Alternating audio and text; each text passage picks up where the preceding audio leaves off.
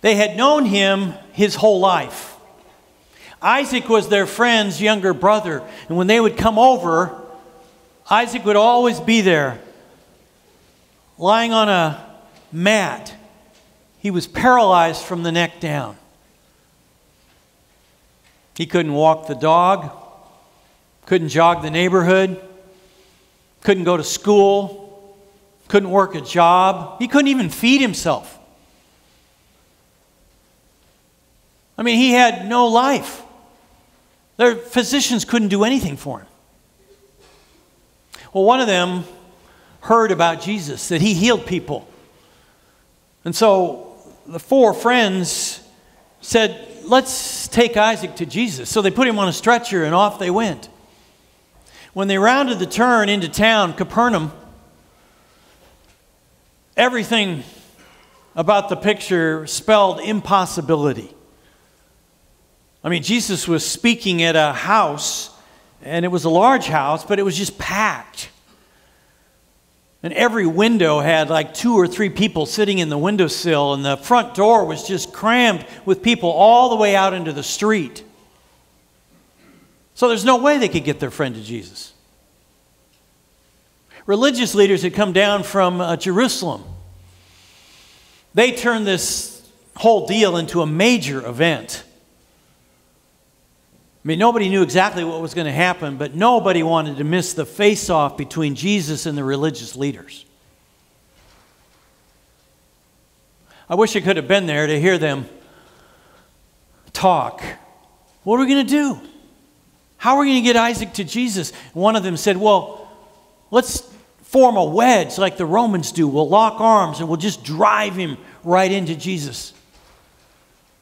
And one of the four friends says, No, nah, I don't think Jesus would like that. Doesn't like men knocking over children, knocking down people.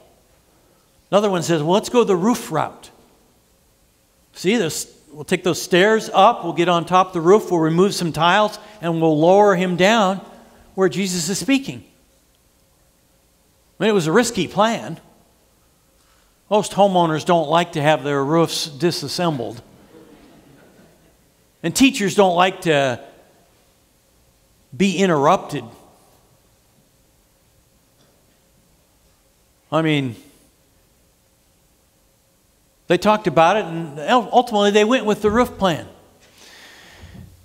So, most roofs in Palestine in the first century were made of mud and twigs, branches. But this was a tile roof. That means uh, the Romans introduced tile roofs, so that means this was a wealthy person.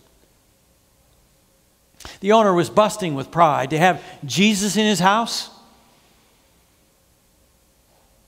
I mean, word had spread that Jesus healed a, a man with leprosy. He thought, wow, if we could, if Jesus could just heal all the people with leprosy and we could get rid of those God forsaken lep- leper colonies, he would solve a huge problem in Palestine. And it was not every day that you had religious leaders down from Jerusalem. They didn't, they didn't come to Capernaum often. So as he was standing there, he noticed a little bit of light shining through his roof. He thought, that's odd. I just put the roof on there. I'll have to get that fixed before the rains come. And then it got a little bigger and dust started coming down and pieces of mortar. And then he could see what was going on. All of a sudden, four faces looked down in and they saw where Jesus was teaching, so they, they took some tiles off to so they could lower Isaac down. And when they lowered him down in front of Jesus, Jesus says, Son, your sins are forgiven. The four guys said, No, no, no, Jesus, paralyzed. What are you thinking, Jesus? Paralyzed people don't sin much, they don't need to be forgiven. He needs to be healed. Paralyzed.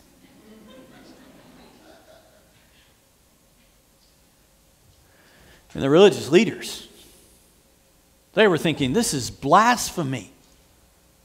Why does Jesus talk this way? Who can forgive sins but God? And Jesus, knowing what they were thinking, Said, So you don't think I can forgive sins?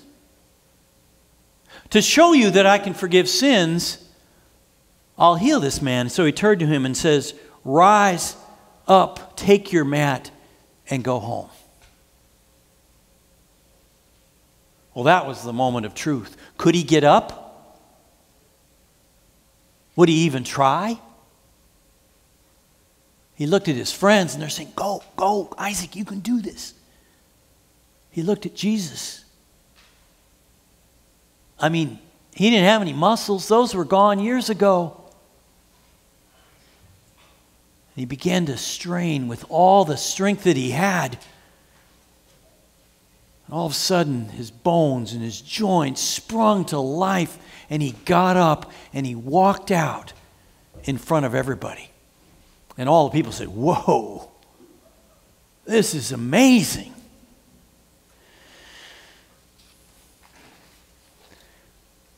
All the people praise God, saying, We've never seen anything like this. No people who put their faith in Jesus are disappointed. Have you put your faith in Jesus?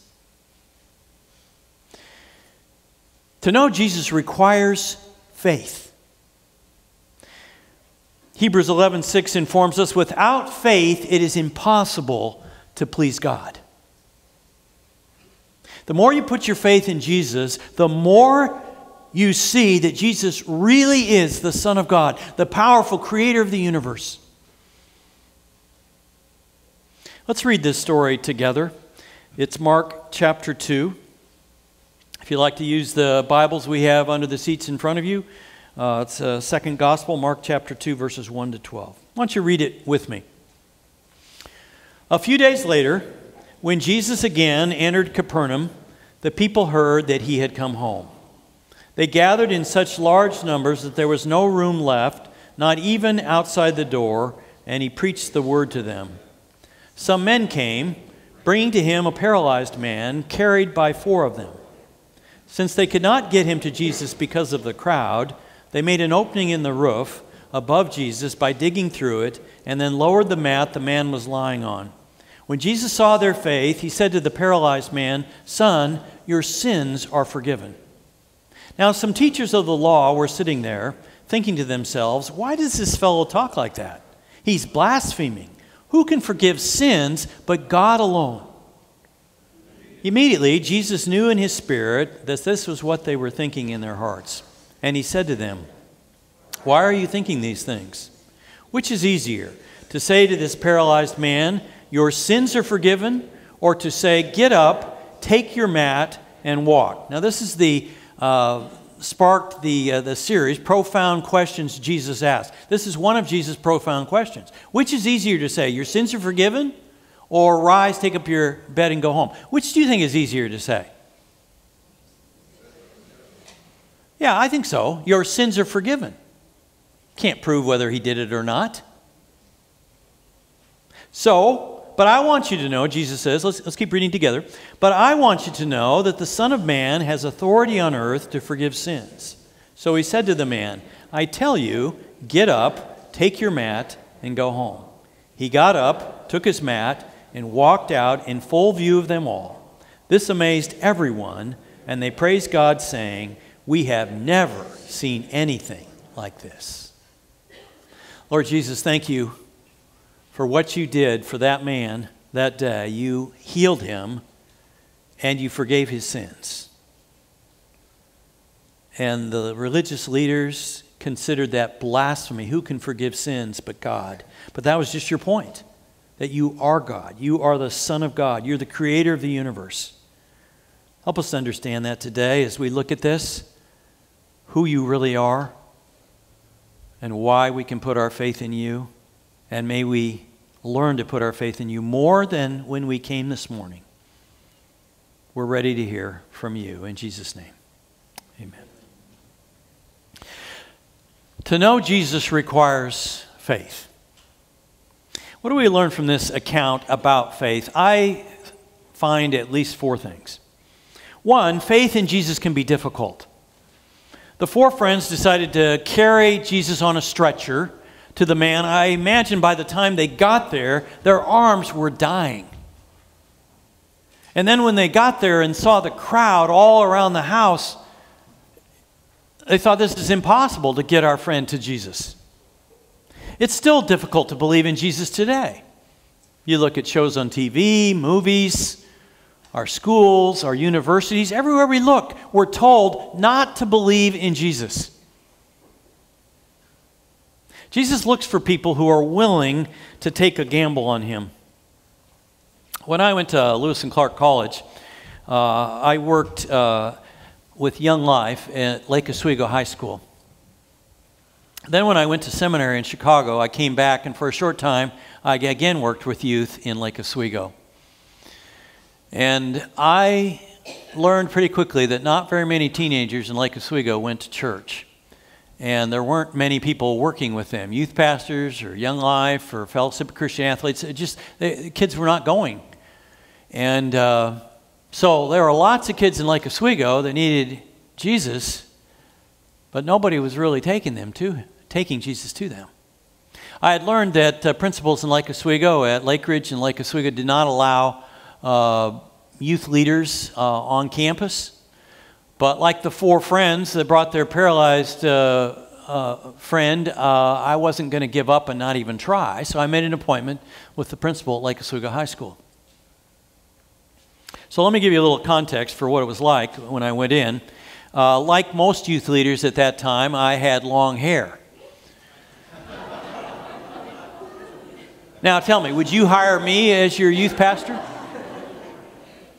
So I got dressed that morning and uh, I decided that I would wear my spiffy blue and tan suede shoes. Remember those? Not, not all of you were uh, lived during Abraham Lincoln's time like I did, but you know we used to we used to wear those, and uh, so I went in, and when I came into the principal's office, the first thing I noticed was that he was wearing blue and tan suede shoes, and I'm sure that's the first thing he noticed about me. So we sat there for a while and just talked about how cool we were wearing our shoes.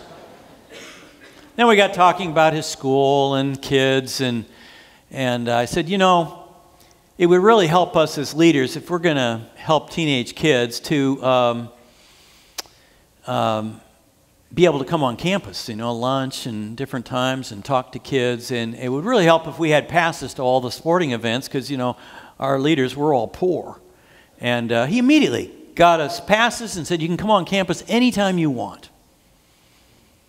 And other people were shocked when I reported this news that but I wasn't that surprised. God is a big God, and I knew He wanted kids in Lake Oswego to know Jesus and that He would help us figure out a way to do that. When we put our faith in Jesus, uh, we're never disappointed. I went afraid, but in, with faith in Jesus. To know Jesus requires faith. Second thing, faith in Jesus may not be politically correct. It was not politically correct to climb upon a roof and remove tiles. It wasn't politically correct to be so uh, bold that you uh, basically break into a house to get your friend to Jesus. It wasn't politically correct to interrupt Jesus and the religious leaders. It's not politically correct today to believe in Jesus. If you do, you're supposed to keep to yourself. In middle school, high school, college, you're not supposed to speak out that you believe in Jesus. That's not cool. Maybe you work with engineers or scientists or medical prof- professionals. They've been steeped in the thinking that science and evolution answers all our questions today. We don't need God anymore. And if you have faith, you don't talk about it because most people believe all religions are the same. So it's not politically correct to say that one faith might be more true than another. It's not politically correct to believe in Jesus. It's certainly not acceptable to be fully devoted to Jesus. You're not supposed to be white hot in your commitment and to step out into the unknown. I came across this remarkable letter written 200 years ago by Martin Van Buren. He's the, he was the eighth president of the United States. He was writing the letter to President Andrew Jackson, the seventh President of the United States. The contents a critical warning that the evil new railroads would uh, disrupt business, cause a lot of unemployment, and uh, uh, be too costly.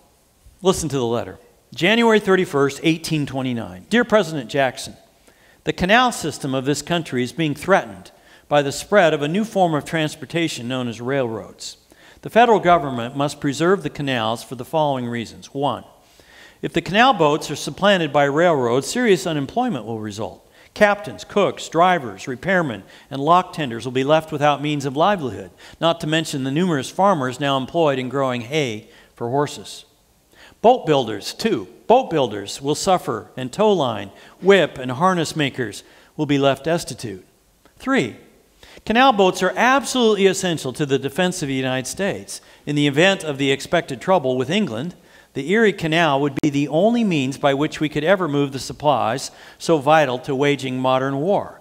As you may well know, Mr. President, railroad carriages are pulled at the enormous speed of 15 miles per hour by engines which, in addition to endangering life and limb of passengers, roar and snort their way through the countryside, setting fire to crops, scaring children, frightening women, and scaring livestock. The Almighty certainly never intended that people should travel at such breakneck speeds. Don't shrink back from putting your faith in Jesus Christ just because it's a journey into the unknown and politically incorrect. To know Jesus requires faith. Three, faith in Jesus as the Son of God makes the best sense. When the four friends lowered their uh, paralyzed uh, friend into, uh, to where Jesus was teaching, Jesus said, Son, your sins are forgiven. The friends were prepared to see Jesus heal, but not to see him offer forgiveness for sins. The Jewish scribes and the leaders from Jerusalem that had come to Capernaum were seated there and they began grumbling. Why does this man talk like this? This is blasphemous. Who can forgive sins but God alone? They picked up on Jesus' inference right away that he was claiming to be the Son of God. Now, Bill and Mamie, uh, I had the privilege of marrying you a little over a year ago. How's the marriage going? You guys ever had a fight?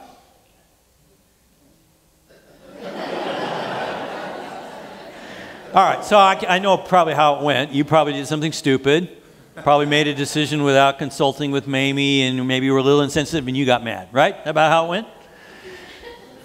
All right, suppose I drop by your house and you're in the middle of, middle of a big row and I hear it. And uh, so I come in and I say, Bill, I forgive you. And you're thinking, what are you doing? You can't forgive him. I'm the only one that can forgive him for his stupid whatever he did. Right? I can't come in and, and forgive him. The only person who can, besides you, that can meaningfully forgive Bill is God, right? Because God made us all, and He's the one that set up all the moral standards for the universe. All, all, all morals are based on His holy character, so He's the only one besides you that could forgive Bill. So that's what Jesus did. He comes in and forgives this man, and his clear inference is that he's claiming to be God. The religious leaders knew that. Jesus knew that the Jewish scribes didn't believe he was the Son of God and had authority to forgive sins. So, to prove he had the authority, he healed the man. He asked them, which is easier to say, Your sins are forgiven, or to say, Rise, take up your mat, and walk? And this is the series Profound Questions Jesus Asked. And this is one of the questions Jesus asked. Now, obviously, it's easier to say your sins are forgiven. Nobody I mean, words are cheap. Nobody can prove whether your sins have just been forgiven or not, right? You can't verify that. So Jesus says, I'll demonstrate to you that I have the authority to forgive sins. That by showing that I have the power to heal as well. You can verify that. I'll give you verifiable proof to substantiate my unverifiable claims. The argument was crystal, clear to the Jewish scribes. It went like this Forgiveness of sins comes from God alone. Jesus claimed to forgive sins. Jesus healed the man to demonstrate his authority to forgive sins. Therefore, Jesus claimed to be God. Much as they didn't want to admit it, the religious leaders learned that when you meet Jesus, you meet God. Throughout the Gospels, Jesus used miracles in the physical realm to substantiate his claims in the spiritual realm. He says, I am the bread of life. And then he feeds the 5,000. He says, I am the light of the world. And then he heals the blind man. He says, I am the resurrection and the life. Then he raises Lazarus from the dead. And then ultimately, he is raised from the dead. When we share Christ with our family, friends, associates, classmates, we have every they have every right to expect that we'll give them good, solid evidence why they can believe in Jesus too. And that's exactly what Mark does for us here. How do we know Jesus is God? Maybe you believe that Jesus is God, but how do you know that he really is? We could point to things like his miracles, but other people did miracles too. So while miracles may be indicative, they're not decisive. Of course, the resurrection is the ultimate vindication that Jesus is God as he claimed to be. But besides the resurrection, I think the most striking thing he did to indicate that he is the Son of God was forgiving sins. If you do something against me, I might forgive you. But nobody else can step in and say, I forgive you. The only person that can do that is God Himself. So along comes Jesus and He says, I forgive you. The religious people understood immediately that this was a claim to be God. This was one of the most striking ways that He made the claim to be God. Not only did Jesus forgive sins, but he also asserted that he himself was without sin. Uh, sinlessness is an attribute of God. Throughout history, people that have uh, seemed to be the most holy are also people that are most conscious of their shortcomings, their sins, their lusts, their resentments. But along comes Jesus who can stay with a straight face. Which of you can convict me of sin? Now, if I said that, Jory and Erica, my family, would be the first to stand up and say, uh, We'll testify against dad.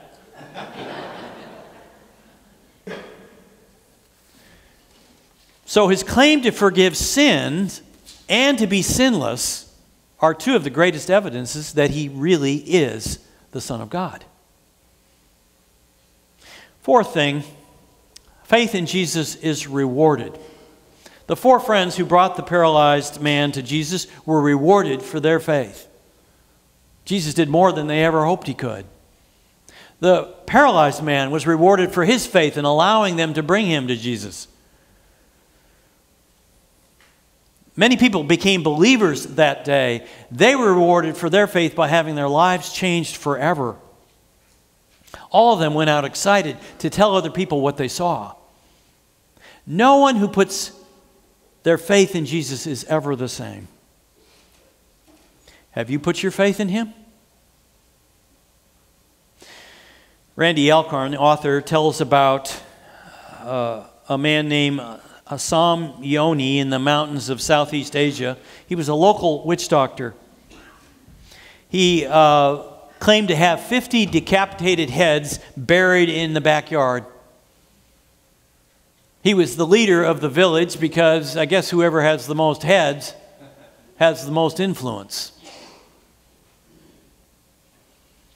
Uh, the Jesus film came to town, and uh, but he refused to go. The Jesus film is uh, the movie about Jesus according to the book of Matthew.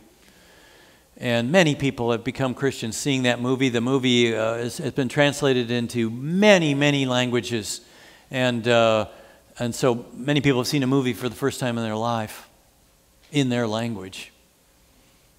He refused to go, but his 73 year old mother went. She saw the movie about Jesus and saw his claims and the people he healed, and she didn't make a commitment of faith that night. But three weeks later, she fell off a bamboo ladder and she was paralyzed. And so she called the pastor who had, uh, from the area, who had brought the film into town, and he came and sitting on her bedside, he said, You know, Jesus can forgive your sins and he can heal you.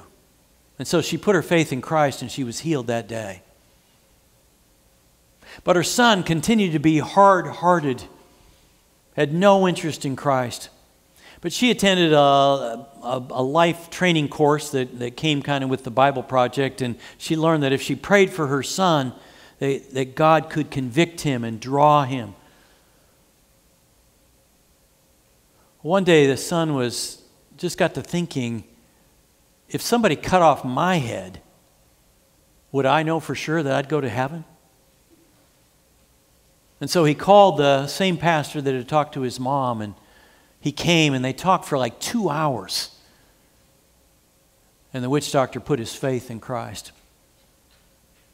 He still had prestige in the town, and so he called all the members of the village, 1,008, together, and he told them how he had just committed his life to Jesus Christ, that he believed Jesus was the Son of God.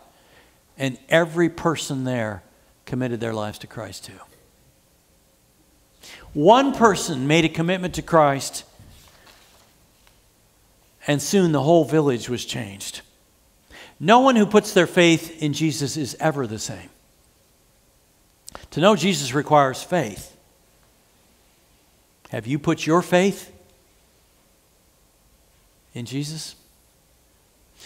Let's pray together. Lord Jesus, thank you that you can forgive sins and you demonstrate that you can forgive sins by healing people. And Father, we, uh, and Lord Jesus, we uh, today come to a deeper faith that you are the Son of God than when we came this morning. I want to give you an opportunity to pray. Maybe you have never committed your life to Jesus Christ. You, you know, maybe you haven't been convinced that He's the Son of God, but maybe today you say, you know what? I do believe, Jesus, that you're the Son of God. Thank you for dying for my sins. I want you to forgive me. Would you come into my life? You could pray that right now. Others of you, maybe you have already committed your life to Christ, but maybe you want to tell him today, you know what? I'm more convinced that you're the Son of God than I was when I arrived this morning. And I want to put more faith in you to realize if you live in me, I've got the very God of the universe living inside of me, and I should be expecting more things in my life more miracles, more amazing things. You pray too. I'll give you all about a minute to pray, okay?